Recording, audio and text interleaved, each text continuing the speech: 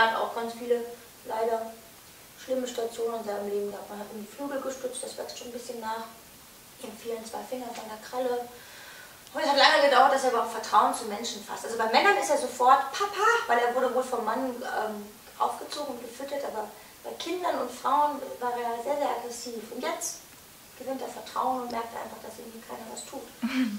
Ne? Wo hast du ihn her? Also, wie? Ein Züchter hatte ihn ähm, ähm, ganz, ganz günstig so, so Hilfeschreie, so nach dem Motto abzugeben, weil er wohl seine Frau angegriffen hat, seinen Sohn angegriffen hat, seine anderen Vögel angegriffen und er schreit ja unglaublich laut und das hat gesagt, ich verliere hier meine Wohnung, ne? ich muss hier irgendwann ausziehen.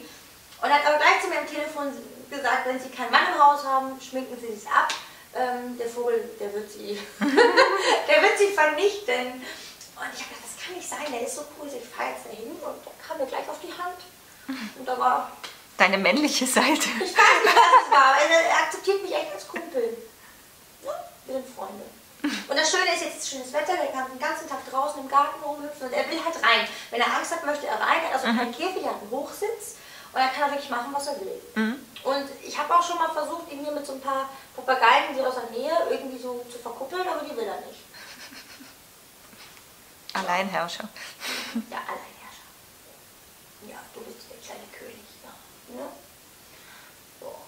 Na, mit ihm geht's gut hier und ähm, das ist das Wichtigste. Es ist halt schade, hatte viele Stationen schon. Es ist halt immer so, ein Vogel macht halt Arbeit oder ist laut oder keine Ahnung, dann gibt man ihn halt weg. Ja. Und das finde ich jetzt sehr traurig. Das ist bei meinen Hunden leider der gleiche Fall. Und ähm, ich möchte ihnen einfach hier ein schönes Leben ermöglichen.